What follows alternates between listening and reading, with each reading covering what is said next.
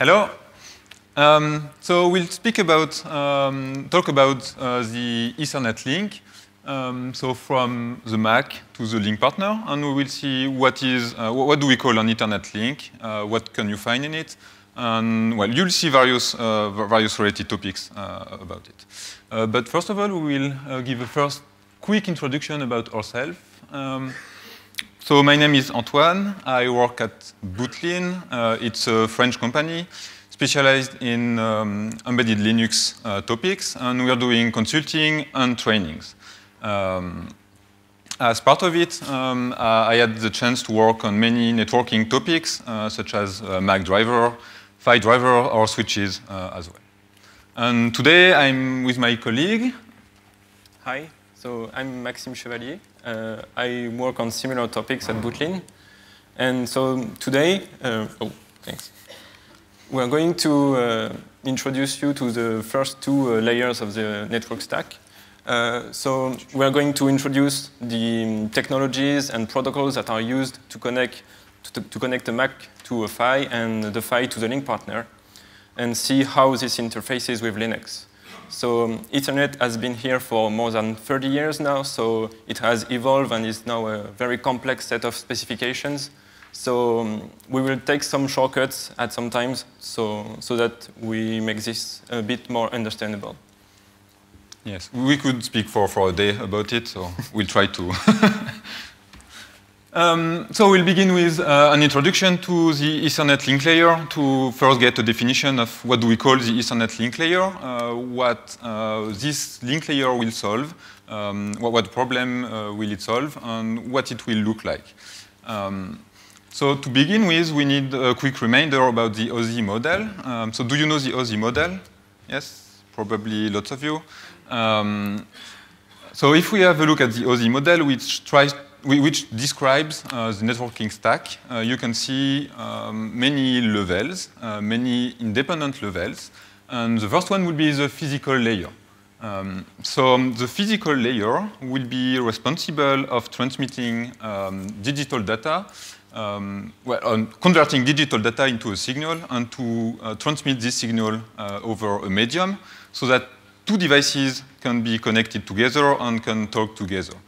Um, so the physical layer will be really dependent uh, on a given medium um, because you can have many different medium used uh, as a physical medium, such as, um, uh, well, electrical ones, uh, radio ones, optical ones. Um, so we'll see a, a, few of them. On top of it, um, you have the data link layer, um, such as Ethernet. So we will speak about the data link layer in case of Ethernet during this talk. And this data link layer will be responsible of um, connecting two devices and transmitting data between these two devices. Um, it will transmit data using what we call a frame. Um, and this is important. This means uh, you will have um, data which, which will be structured um, with uh, the raw data and plus some information needed um, so that you can understand what is being transmitted. Then on top of it, um, you have the network layer, such as IP. And this one is really important because if, you, if you're only using the data link layer, you can only connect two devices directly connected. Uh, but if you do want to connect more than two devices and to be able to send um, well, one data from a given devices to a very remote devices uh, hopping through routers, uh, you need this network layer. So the main idea with the network layer would be to be able to route um, the data uh, through many machines um, up to your destination. And in case of the networking layer, um, we will be using packets. Okay? So a packet will be, um, uh, well, the data you, you, will, you will want to send, a chunk of data you want to send from one device to another one. On top of it, um, you've got another layer, which is uh, L4, and this layer will be the transport layer. Given the one you will be using, um, so the two main um, examples would be TCP and UDP. You will add extra uh, capabilities such as reliability, uh, ordering, flow control. So it really depends on the one you'll be using. So this will be on top of the network layer. Um, today, uh, while speaking about Ethernet, we will focus on the first two layers. So the physical layer and the data link layer. But we will not speak about any other layer of the OSI model. Okay? So the two lowest layer of this model. Um, so if we have a look um, at what uh, Ethernet link can look like, um, the idea is you want to send uh, data from a CPU to a link partner, which will be a remote device. Um, and to do this, uh, you will have a few um, um, a few elements on this link which will handle different um, uh, things. First one would be the MAC. Uh, it's called the Media Access Control. And this one will be responsible of handling everything that's linked to the level 2 of the OSI model. Okay? So we saw the OSI model. Uh, the MAC would be um, used uh, to handle everything that is linked to the data link layer. So Ethernet. Then um, you will have the network PHY, and the network PHY will be used to convert uh, this digital signal into um, an electrical signal. Um, and the PHY will be responsible of handling um, L1, so the first level of the OSI model. So you have a clear separation between um, L2 and L1 in the design of the Ethernet link. Okay? Um, one thing about PHY is uh, it will usually be controlled through a bus, which is called an MDIO bus. Uh, on this scheme, it's directly connected to the MAC because this is something you can see in many cases, but it can be connected to something else. Okay, it does not have to be connected to the MAC itself. Um, one comment about it, um, this is the main um, uh, diagram about the Ethernet link layer, um, the Ethernet link, uh, but you can have a few other uh, construction of the Ethernet link, and we will see a few of them. This is the simplest one, and this is the one you need to learn about uh, to really understand what's going to happen. Uh, but you can have a few modifications uh, within this link to, to handle more advanced cases, to, to handle specific cases. Okay, but we will see a few examples. Um, so one, um, one, we will see a few examples using one real device, um, which is called the MacchiatoBin board. And this board is um, um, an ARM64 board, which is using an SoC from Marvell. And what's really interesting about it is uh, you can see many networking ports. So it has four network ports. Um, with three different link designs. So we, can, we will be able to see uh, three examples of what can be uh, the Ethernet link. And you have six cages. Um, so it's quite uh, interesting. So this is a, a, full diagram, but we will um, see each port individually. Um, the first one you will see would be uh, represented as uh, ETH2 in Linux and it can handle up to one gig links. And as you can see, this is exactly what we previously saw. Okay, so this is the uh, simplest design of um, an Ethernet link. You've got um, the CPU, which is connected to the Mac. Um, the Mac will handle L2, and then um, you've got a PHY, which will handle uh, L1. And finally, uh, a connector, uh, an RJ45 uh, connector. Okay, so it's quite common. Then um, you have uh, access to two ports, um, which are ETH0 and 1 in Linux, and they can handle up to 10 gig uh, connections. And what's really interesting about it is you have two connectors on the same port. So you can either use an RJ45 connector or the SFP connector. And this means that at a time, you can only use one of them because you only have one Mac um, connected to those ports. But um, depending on the one you'll be using, you will need to reconfigure the link. Okay? You cannot have the same configuration of the link depending on the one you'll be using. And this uh, begins to be uh, interesting. So you will need to be able to do dynamic reconfiguration of the link, to reconfigure the MAC, to reconfigure the SerDes lanes, and to reconfigure the PHY to allow to switch between the two usage. Okay. And the fourth port, uh, which is ETH3 in Linux, can handle up to 2.5 gigs, um, and it will be only connected to an SFP cage. And as you can see, there are no PHY in it. Okay, so the Mac is directly connected to the SFP uh, cage. Okay. Um, so this means uh, if you do not have a PHY, that you can have a direct Mac-to-Mac -Mac connection, um, you can also have a PHY, which would be plugged in at runtime within the SFP uh, connector. Okay, but we will see. We will see this. Um, within Linux, um, you will have different kinds of drivers depending on which hardware you, you will need to drive. Um, so the Ethernet MAC will be driven by an Ethernet driver, which can be found inside drivers net Ethernet. And the Ethernet MAC controller will be represented by a net device. So this is a Mac. We still need to have a driver for the PHY, which is the second um, element we will have inside the, the, Ethernet link. And to drive the PHY, you will have a driver within uh, net PHY, drivers net PHY. And it will be represented uh, by a PHY device. So in our example of the Macchiato example, we have the Ethernet driver, which is within driver net Ethernet Marvell MVPP2. And then we do have two kinds of PHY within the board. And so we have a driver for uh, each one of those PHY, uh, one which is marvell.c and the other one marvell 10 gigs.c. In some cases, you can have a package which will um, have the Mac and the PHY directly inside within the same package. So if you do have this kind of configuration, uh, this means you will not be able to connect uh, whatever PHY you want uh, on this Mac, but you will need only a single driver, and this driver will be the Ethernet driver. Okay.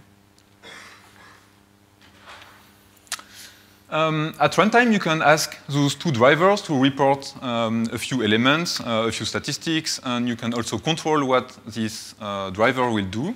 The main tool used is ethtool, and ethtool will be used to um, select and to modify option within the MAC driver, within the Ethernet driver. Um, so everything that will be reported will be what the Mac is seeing, not the PHY. In cases you do have a package uh, which will contain both a Mac and a PHY, um, then this view will be reported by ethtool. So it really depends on the hardware you will have. If you have a specific driver for the PHY and a specific one for the Mac, then ethtool will give you information about the Mac. But if you do have the same driver for both of them, um, then it will report what uh, this package is seeing. Um, the second one would be mii-tool, and this one is deprecated. Um, it was uh, replaced uh, in well a few uh, in most parts by ethtool, but it can still be used uh, to dump the PHY status, to, to ask the PHY to, to give you the status. It's not working with every PHY, but it can be useful in, uh, in a few cases. So it's good to know it exists if, you, if you do need to, to use it. Um, so we just saw what's going to be inside uh, our Ethernet link, and what will be the representation in Linux. Um, how can you construct one Ethernet uh, link? But then the next thing to do would be to understand how uh, the PHY can communicate with the link partner and how the Mac can communicate with the PHY. And to do this, um, we have access to uh, standards, which were standardized by uh, I3E. Um, and you have two kinds of standards. Uh, one would be the media independent interface, MII. Um, and this one is, um, will handle the Mac to PHY connection. Um, so the idea is to connect different kinds of Mac to different kinds of PHY. Um, and you can find a few standards such as um, SGMII. You probably heard of it at least once. Uh, and the second one will be a media dependent interface, the MDI, and this one is dependent um, on the physical medium you'll be using, and this will be the standard used by the PHY to communicate uh, to the link partner. Okay. Um, so it will connect your physical layer to the physical medium. So depending on the physical medium you'll be using, um, is it a copper cable, is it a fiber cable, um, then you'll be using different kinds of specification. Um, a few examples about it. Uh, you can have 1000 base T, for example, which is quite uh, well used. Um, it's really simple. Uh, you only have a few of them. Uh, it's easy to, to, to, to, recall, to remember. Uh, so we will um, have a look at each and every of them, uh, of course. so 10 base 2, 10 base 5. no, I, am kidding. The important thing about it um, is to understand that uh, those standards will be directly linked to the kind of uh, medium you'll be using. And then we have a slide explaining the name of the standard, uh, which is, well, quite useful to know. So you will have something of the form uh, speed, band, medium, encoding, and lane um, to have as a result um, standard, which could be the one we just saw, 1000 base T. And you need to know the meaning of each of those letter and, and keywords within this name. Um, so the first one will be the speed. This is the bandwidth, uh, bandwidth at which um, you can send data or receive data to the link partner. Um, then the band, uh, you can have baseband, broadband, passband. Um, the most common one is baseband. And I, am not an expert in, uh, in, signal processing, so I cannot explain everything to you, but it, it's depending on um, how, how, how, the device will understand uh, the frequencies sent uh, to, to it. Okay? So if it's a baseband, it should be close to zero, I guess, and passband in between two frequencies. Um, then the medium, uh, which is um, important as well, and the medium would be the physical medium used by this protocol. So if you're using something over um, twisted pair copper cable, which is the classic um, RJ45, it will be T. Okay? So this means in my example, uh, 1000 base T, uh, this is a protocol which will be used if you want to use 1 gigs link over RJ, RJ45 uh, cables. Um, we, uh, you, you, have many more examples, uh, such as a base C, uh, which would be a copper link, or H, a plastic fiber, and you have many, many of them. So as you can see, each of them is specific to the medium you'll be using. Um, then the encoding. Um, so the encoding used by the PCS, uh, but Maxime will speak about the PCS uh, a bit later, so you will see what the PCS uh, is responsible for. And finally, the number of lane per link. Um, and for base T, so for RJ45, uh, it will be the number of twisted pair used. Okay. Um, and using this, uh, you can construct um, the different kind, uh, the different uh, specifications uh, name. The other thing about the link uh, would be um, um, the parameter of the link, and you have the speed, which we just saw. Um, so this will be the speed at which you will be able to send uh, data through the link. Um, it can be many things. Um, well, the common ones would be uh, 1 gigs, uh, 10 gigs, uh, 40 gigs. Then you've got a second um, characteristic, which would be the duplex. And this one is really important. Um, it can be either half duplex or full duplex. Half duplex means only one of the two devices communicating can send data at a time, and full duplex means you can send and receive data at the same time. So you need to make sure that the two devices communicating together will use the same duplex, uh, otherwise it cannot work. Um, and auto-negotiation. Um, is your link able to uh, perform auto-negotiation? And auto-negotiation will be used to exchange information about what a link would be capable of. And then, based on this uh, information, um, the links uh, will be able to select one common, uh, well, common parameters to be able to, to, to talk to, together.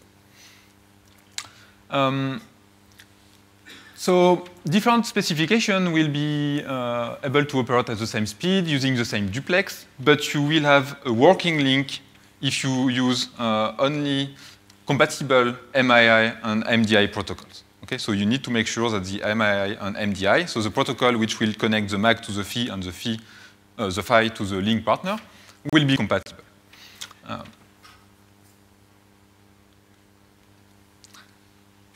and that's it.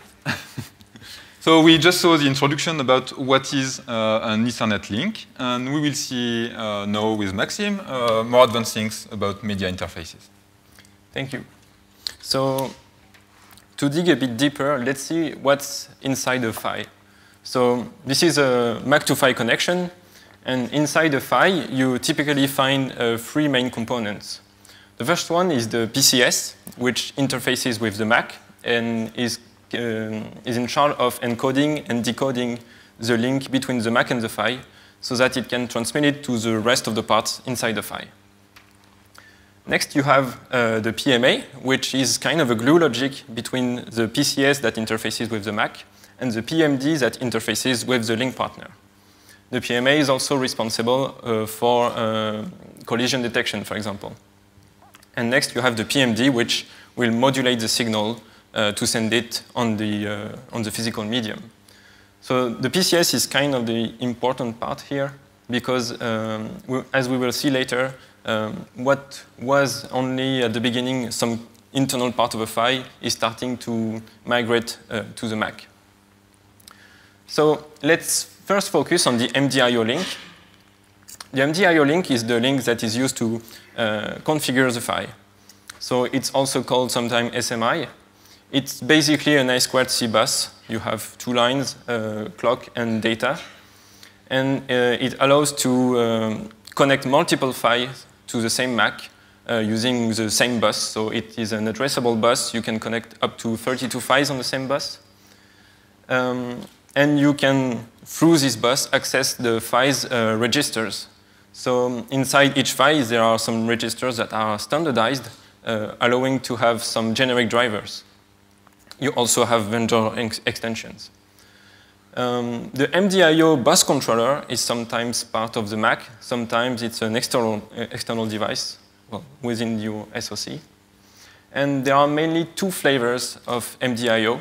You have the clause 22, which is the kind of historic one, uh, which has only 5-bit uh, register addresses. So most of the time you have to implement some kind of indirect access to access all the register set of your PHY. And you now have the clause 45, which allows to use 16-bit uh, register addresses. And that uh, also provide a way to, uh, to sort the register uh, addresses uh, between different devices of the PHY. So as I said, you have a PCS, a PMA, a PMD.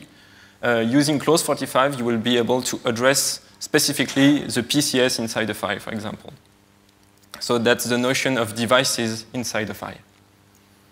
So here it is, uh, how it is handled in Linux. So as I said, uh, there are some generic register sets.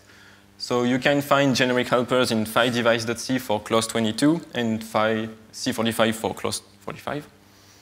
Uh, each PHY has a unique identifier based on its model number and its vendor so that you can select the correct driver uh, to handle this particular PHY. Uh, and each PHY is described as a node of the MDIO bus. So in the device tree, here is a, a binding example. So all, all, that you specify is basically if it speaks C45 or, or C22 and its address on the MDIO bus. So now let's, let's talk about the high-speed link, the MII link which is used to uh, transmit the, the packets from the Mac to the PHY, the frames. Uh, this link is replicated each time you connect a PHY to a Mac, uh, contrary to MDIO. For example, the first kind of link, which is called simply MII, is uh, made up of 16 pins to connect the Mac to the PHY. So each time you connect a new PHY, you have to reroute 16 other pins. So there is a variant which is called RMII, which used a reduced number of pins. So RMII stands for reduced MII. Then you have the gigabit version. Since MII only does uh, 10 and 100 megabits per second, GMII is used to transmit a gigabit link. It has 24 pins, so of course there is a reduced version which uses only 12 pins, and sometimes you can find a version called RGMII ID which has some timing tweaks. It's not really important here. And finally, you have the XGMII link for transmitting 10 gigabits per second uh, data. It has 74 pins, so it's really not something that you can use to connect a Mac on a, to a PHY on a PCB. It's mostly used uh, for uh, on-package uh, Mac to PHY connections. So obviously there is a problem. How do I connect a 10 gigabit PHY to a 10 gigabit Mac if I can't use this interface? So what has been done is that uh, some parts of the PHY, namely the PCS, that is in charge of encoding and decoding this link, is used inside the Mac to serialize the connection. So it's not something that, is, uh, that was originally specified in the i3 standard, But since we used uh, already defined bricks from the standard, it's pretty easy to implement in new devices. So um, basically, you will serialize the link inside the Mac, send the serialized version, and deserialize it from the PHY, or simply handle it directly into the PHY as is. Uh, there is the reconciliation sublayer, which is some glue logic to implement that. But what's important here are the serialized lane uh, notion. So you will transmit your serialized link over uh, some, most of the time, differential pairs, allowing to have much higher clock rates and a better signal integrity. But also, uh, the encoding um, needs to be done in a way that you won't have your signal staying at the same level for too long. So most of the time you use uh, something like 10 bits, 8 bits encoding, which is actually defined in the base X specification, or 66 bits, 64 bits encoding. So basically what it means is that when you want to transmit 8 bits of real data, you do that in 10 bits on the MII link. So uh, for example, uh, SGMII link, which is a GMII serialized, uh, when you want to transmit a 1 gigabits per second connection, you actually clock your SerDes lane at 1.25 gigabits per second to uh, deal with this encoding that enlarge your, your data. Sometimes the clock is inside the same lane as the data, so you have clock recovery inside the PHY, and sometimes it just simply transmits it in a parallel manner. And the SerDes lanes are uh, sometimes also have a specific driver that is handled in the generic PHY subsystem. So some example of serialized uh, connections. So you have SGMII. SGMII is actually a de facto standard that was, I think, um, designed by Cisco. It uses four differential pairs, uh, uses a basic PCS. Uh, there are some new flavors of this link, uh, some that can transmit 2.5 gigabits per second data, and also the QSGMII, which is basically aggregating four links together to create one 5 gigabits per second link. Then you have the ZOE, so it's called ZOE, but it's written XAUI, uh, which is a, a, standard defined in the I3E specifications to serialize the XGMII connection. You transmit it over uh, four SerDes lanes, so you have 16 pins to, to route. And you also have a reduced version uh, called RZOE. Only two SerDes lanes this time. And finally, you have a kind of a family I grouped together for XFI uh, and SFI and also 10, 10G base KR, which are uh, families where you transmit this link over one single SerDes lane that goes at 10 gigabits per second. So how do I represent my Mac to PHY connection and specifically this mode inside uh, in Linux? So uh, first, you only had an enumerator that would say, okay, I'm using SGMII or GMII or MII, so it's the PHY interface T. Nowadays, you have the phylink framework that is designed to really uh, give a good representation of this link. Antoine will talk about it a bit later. And that's what the binding looks like. So basically, you only say that uh, your Ethernet port is connected to this PHY using this mode. So let's see a bit uh, what is inside a PHY driver.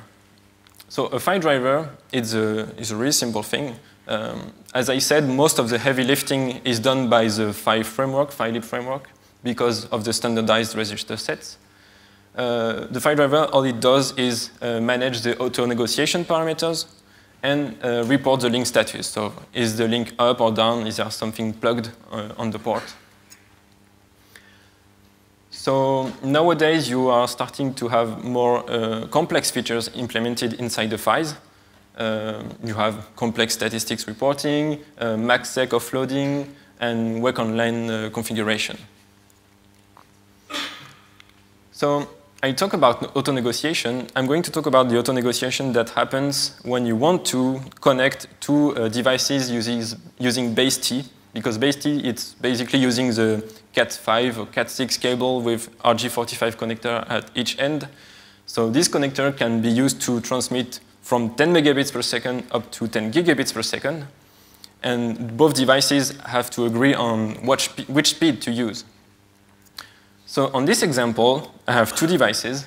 uh, one using 10 gigabits per, when supporting up to 10 gigabits per second, and the other one up to 2.5 gigabits per second. So obviously, since both support uh, 2.5 gigs, they will agree to use this speed.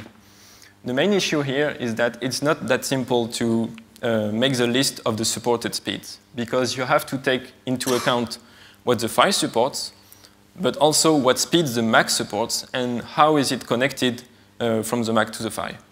So all, is this, all of this um, uh, link parameters uh, list building is done uh, in software by the PHYlib framework. So basically you will end, you will do a logical end between what the Mac and what the PHY supports.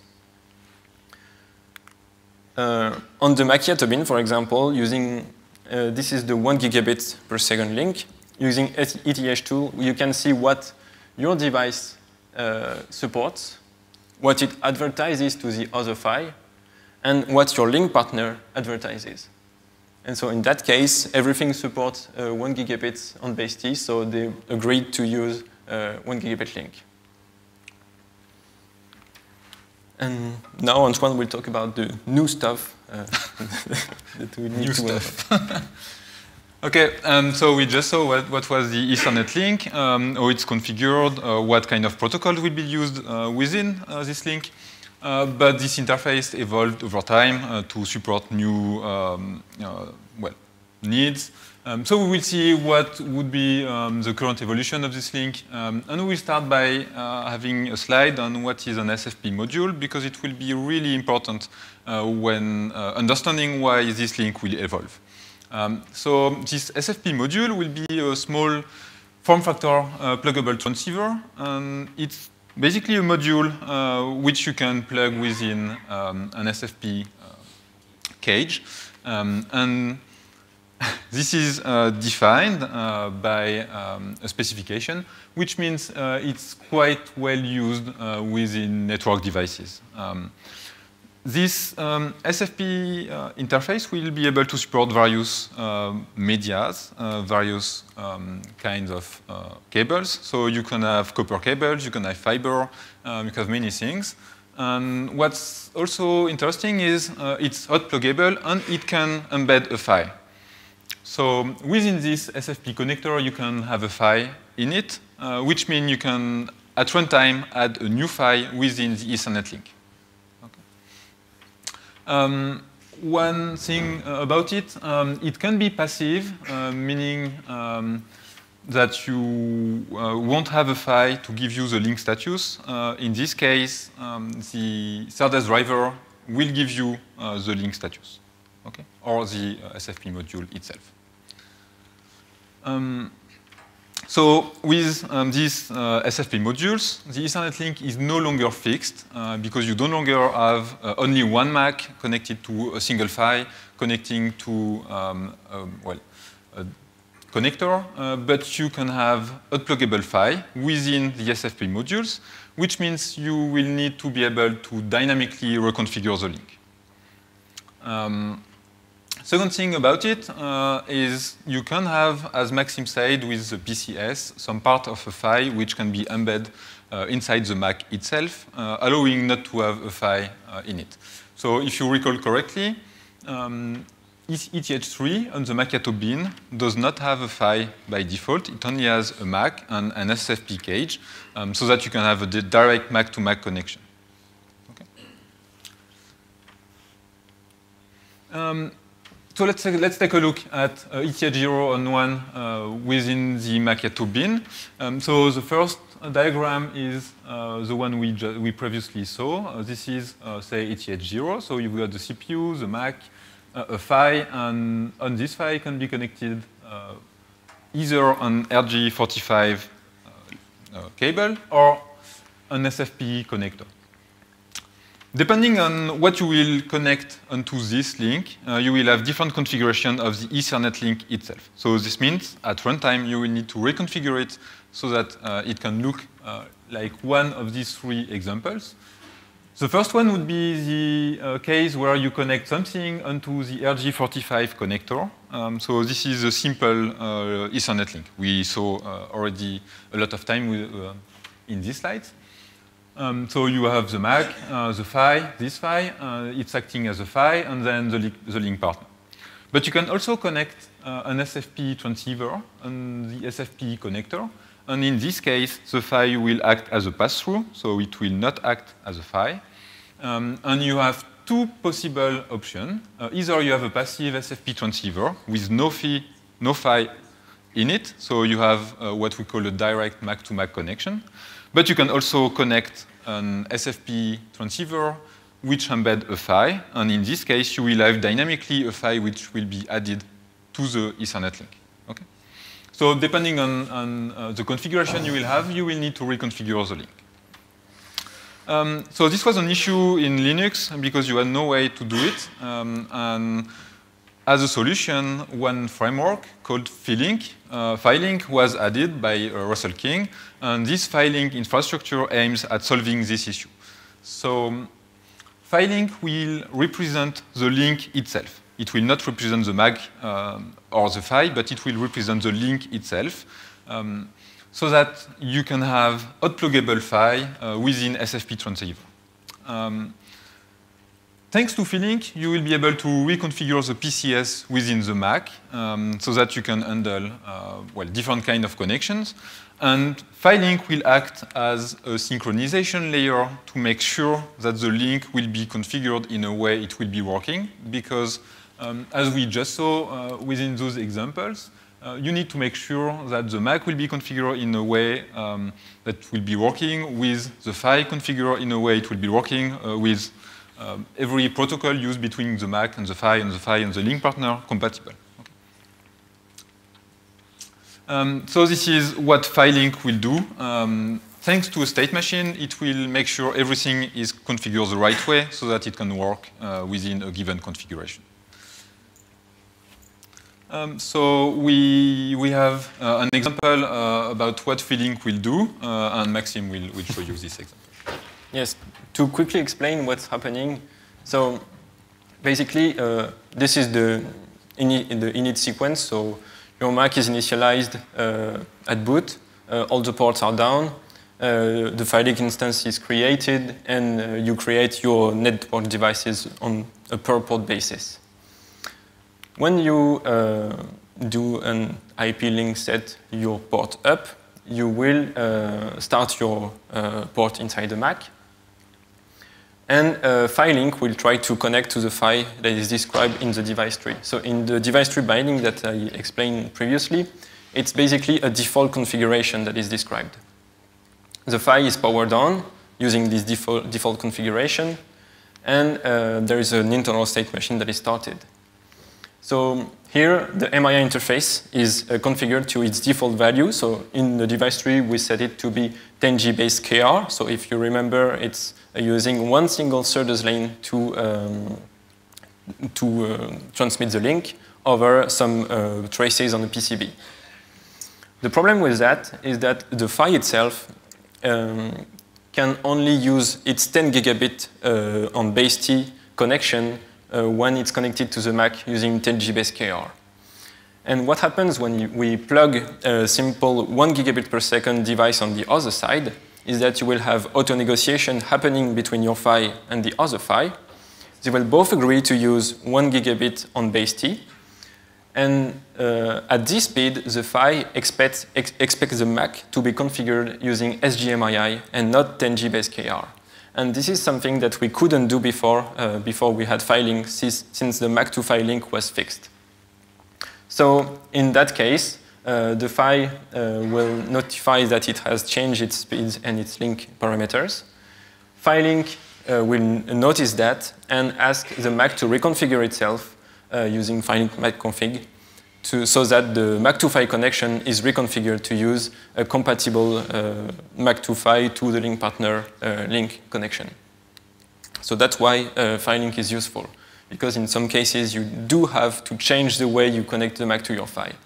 So basically, on your board, you have uh, the Mac and the PHY connected through SerDes lanes, and the SerDes driver is reconfigured. So obviously, the board has to be routed in the correct way. Uh, so that it can support all, all of these modes. So that's all. So as you saw, the Mac to PHY to link partner is uh, very complex nowadays when you have to uh, have a very dynamic thing instead of what was previously a fixed link. Um, PHY can be outplugged with the SFP, which is also hard to handle with the previous uh, representations that we had. So um, I hope that you learned something. And now if you have any questions. Thank you.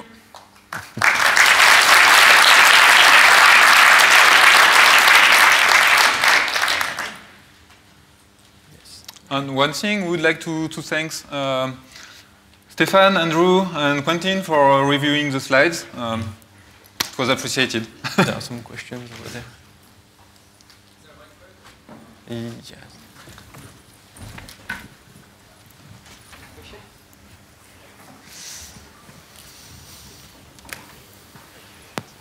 Hi. Um, I was just curious. You've got things like direct attach SFP, where I presume maybe that cable would have a PHY in it, but maybe it wouldn't. Um, is, is that correct, that, that that's kind of implementation defined? Yes, you, you can have direct attach. Uh, okay. Um, so we can also potentially now have a, an SFP module with a PHY in, but also a PHY behind the cage on the board. Is that correct as well?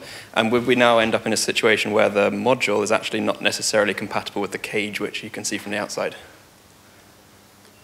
Uh, you, you are referring to the case where the, the PHY is connected to the SFP cage and you plug a, uh, an SFP transceiver with a PHY in it? Correct, yeah.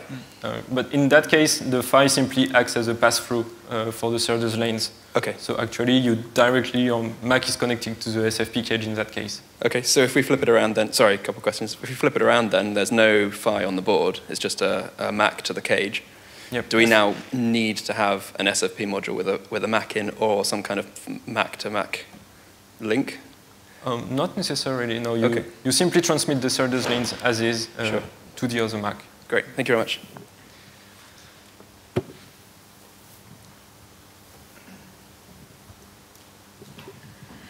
In the case where you had an SFP and RJ uh, link, you had two Ethernet interfaces. Why do I need two Ethernet interfaces? I can only plug in one link, so why do I need two IP interfaces?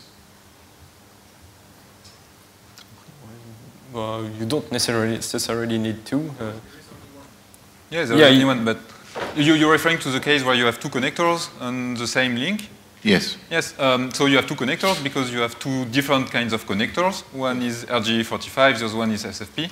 But of course, you can only use one at a time. So if you plugged in uh, two, connect, two, two uh, cables into those two connectors at the same time, uh, then you will probably have undefined behaviors. And what really will happen in our case would be the last one would be taken into account. But why do I need two IP interfaces? No, you, you, don't, you don't need to. You, you, you only need one. It, it depending on how do you want to design the board. And Yeah, I, I get the question. The answer is that uh, there is ETH0 and ETH1, but it's two Ah. times uh, Ah, okay, okay, okay. two times the understand. RJ45 and the SFP cage. So Yes, you have, yes. You, you have really two in different interfaces on the board, right? have so you have two Macs, and they both have one RG5 connector and one. Yeah, Yeah, you can have a look here. So you, you have two times uh, this connection, uh, SFP, RJ45, SFP, RJ45 on the PHY. Okay? So wh- when we, we, we- are showing this, it's only one of the two. Okay? But you don't have uh, ETH0, which will be this one, and ETH1, which will be this one. This is ETH0, both of them. Okay?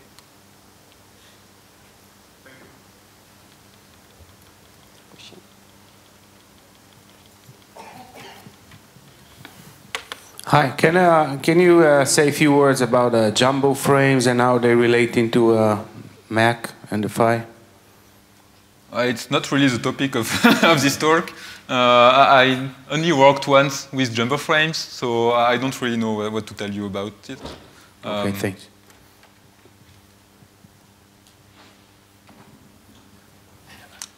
Alex, over there.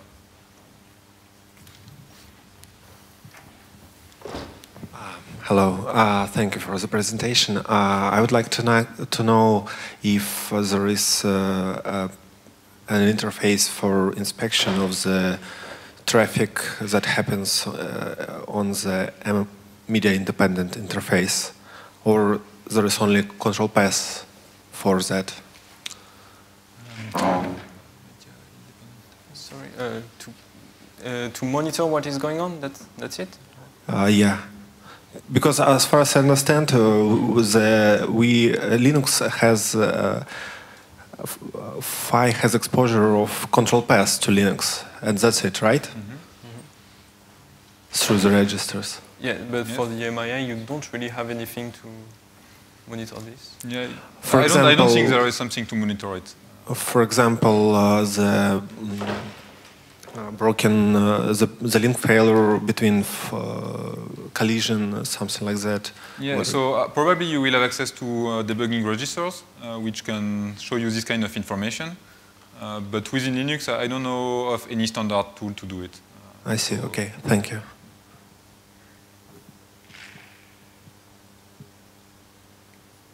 No more questions? So it's lunchtime then.